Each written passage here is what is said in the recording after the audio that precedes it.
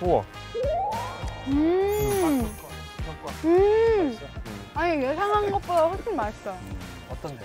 맛없다고. 짭짤하고 간이 딱 되고 즙이 아직 남아 있네. 짭짤하면서요? 좀 완전 쫄깃쫄깃해서. 자연산이다. 어, 뭔가. 이거 완전 자연산. 음. 어? 탱글탱글해. 탱글탱글. Wow. 와 진짜 맛있다. 그 비싼 초록 홍합을 어. 그렇죠. 와. 진짜 짭짤하다. 아.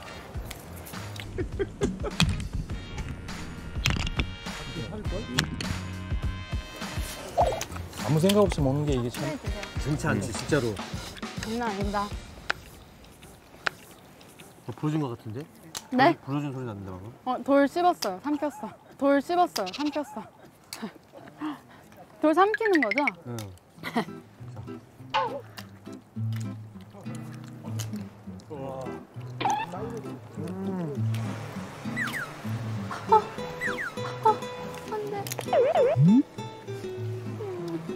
작은 게 더 맛있긴 하거든.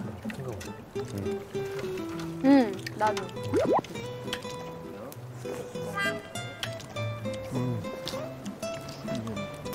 아, 제가 사실 제일 많이 먹은 것 같아요.